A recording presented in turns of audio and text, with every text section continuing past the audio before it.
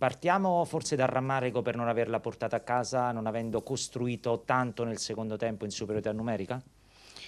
Sì, vero, non abbiamo avuto, dopo aver pareggiato la partita, non, non siamo riusciti a entrare con più frequenza all'interno delle loro maglie difensive. Abbiamo scelto a un certo punto di metterci con Bosic e Clemenza più Marilungo e Ferrari nel gioco dei cambi perché l'intenzione era quella di, di vincerla, però forse qualcuno è calato tre partite in sette giorni e quindi in alcuni momenti non siamo stati lucidissimi, anche se abbiamo creato delle situazioni importanti dove ci è mancato l'attimo fuggente, ma come nel primo tempo, nel primo tempo ancora di più perché... Rauti due volte.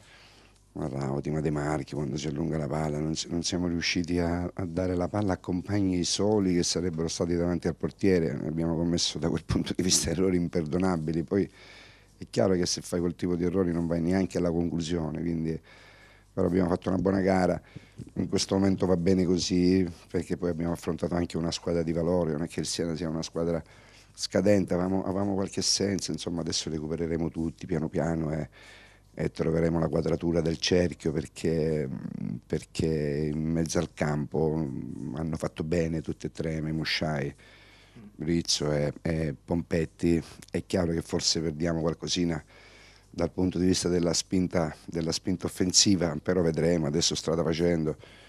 Questa è una squadra che ha valore, che ha consistenza, io sono sicuro che noi troveremo la quadratura del cerchio e siccome di tempo ce n'è tanto, insomma, andiamo avanti.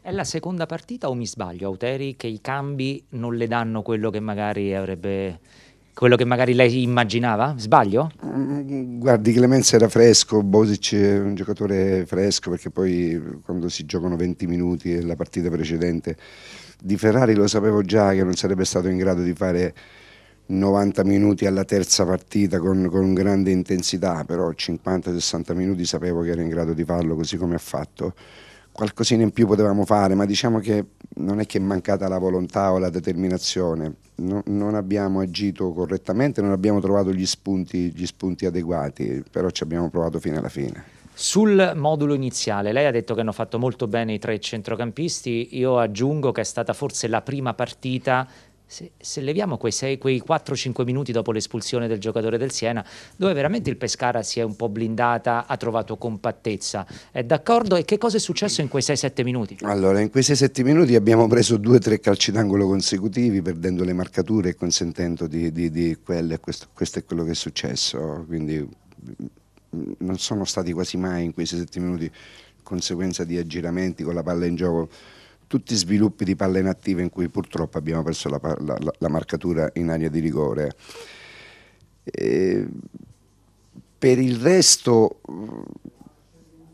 anche oggi in alcune situazioni abbiamo commesso gli stessi errori che abbiamo fatto precedentemente, quando forziamo la giocata, quando arriviamo negli ultimi 20 metri e vogliamo, e vogliamo per forza di cose andare a giocare e quindi forzare la giocata nella densità, nell'imbuto centrale, lì ci esponiamo a qualche rischio perché più facilmente la palla può essere intercettata eppure oggi in qualche situazione ci hanno preso un po' di campo però come altre volte in quelle situazioni poi siamo bravi a chiudere perché difficilmente oggi non ho visto i pericoli tra le parti di Gennaro se non quei minuti. Mm, ci sono state in quelle situazioni se lei va a rivedere la partita sono state due o tre eh, e dipendono soltanto da, da, da, da, quello che le ho detto da, da sviluppi di gioco in nostro possesso in cui a un certo punto giochiamo un po' troppo invece di andare dentro e poi a un certo punto quando decidiamo di forzare la giocata la andiamo a forzare centralmente senza prendere l'ampiezza del campo ed è chiaramente l'avversario fa densità lì e ci esponiamo a qualche, a qualche riconquista da parte dell'avversario. Ultime due brevi da parte mia, la prima, il Pescara sta sempre più indietro in classifica, dall'alto della sua esperienza se la sente di dire che c'è margine per ritornare sotto? Ma sta scherzando, ma, ma, ma certo che c'è margine noi adesso non, non, dobbiamo pensare a nulla, dobbiamo pensare a migliorare, a crescere, a evitare, a evitare, quei difetti che abbiamo manifestato e a essere perseveranti. Io non conosco altre ricette che non quelle del lavoro, ma i campionati dopo un terzo non si, dec non si decidono mai. È chiaro che dobbiamo inseguire un filotto di vittorie, non, non, lo, non lo, so quante, ma, noi, ma questo, questo, è, questo, è, fondamentale. Poi magari appena avverrà, mi auguro presto, poi dopo alzeremo la testa, ma di, sicuro, ma di sicuro i campionati non si decidono ora. L'ultima proprio da parte mia, eh, Auteri, è chiaro che la situazione di Galano è sulla bocca di tutti e eh, merita un'attenzione particolare.